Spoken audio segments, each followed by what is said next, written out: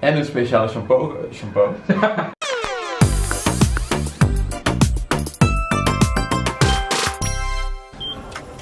Hey, Hey.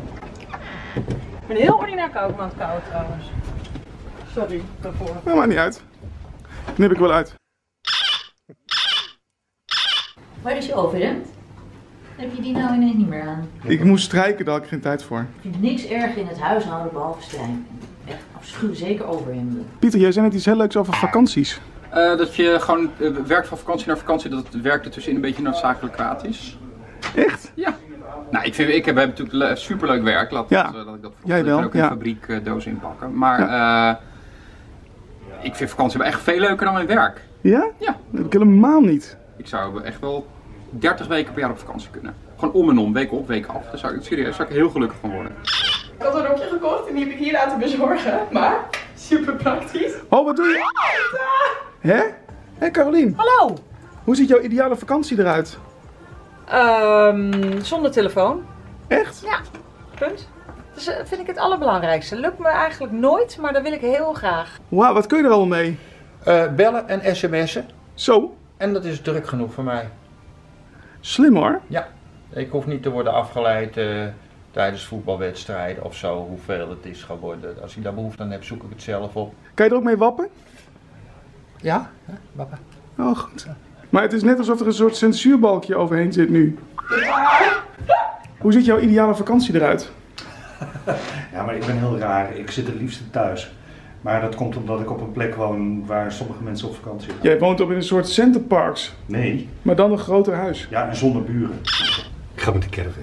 Ken je dat dat je een huisje hebt gehuurd in Center Parks en dat je, je bent helemaal op van de stress van eh, de hele tijd werken en eh, je gaat er naartoe en je rijdt er naartoe in de file of zoiets en eh, nou ja, je pleurt je spullen neer, je gaat daar in de tuin zitten en je denkt van, ah.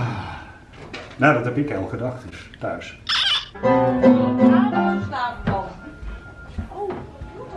Voor wie zich afvraagt wat discjockeys doen tussen de plaatjes door.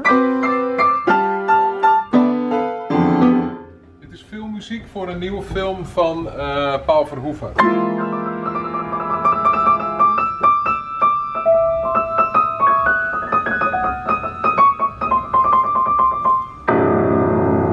Vast zo'n heel ingewikkelde filmhuisfilm. Ja, dan doet ze haar kleren uit en dan loopt ze door de gang en dan gebeurt er iets en dan eh tien, tien.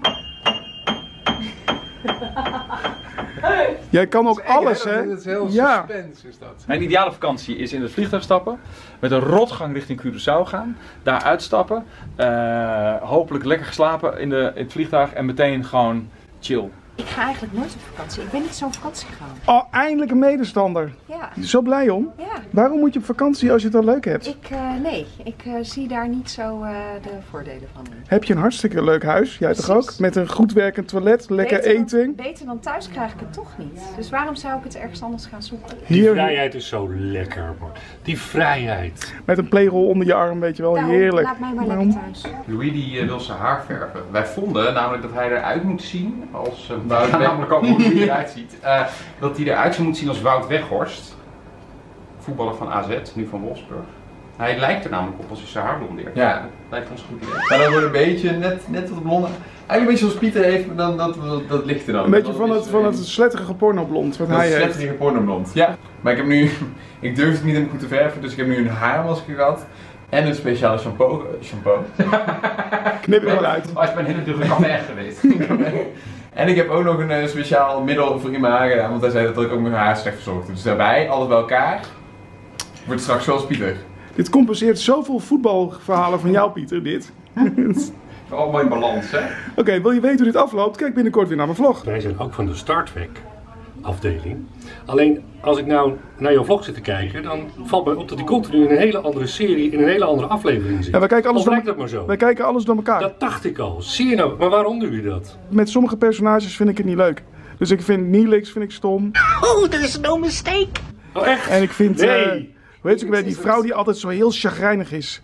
Seven of Nine. Nee, die is wel leuk. Bellana Torres. Bela- Die! Then tell me. Snap jij dan ook dat ze met Tom Paris aanpakt? Wat moet hij met haar?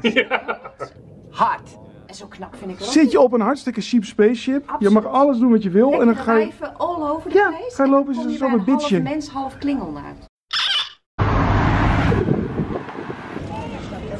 Hallo. Maak even een reisshotje. Zwaai even. Knap is die, hè? Hij is heel knap. Bram, je hebt net je eerste woordgrap ooit gemaakt, hè?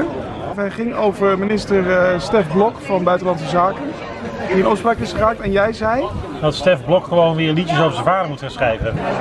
Marieke, Ja. lacht Bram op het werk wel? Nauwelijks.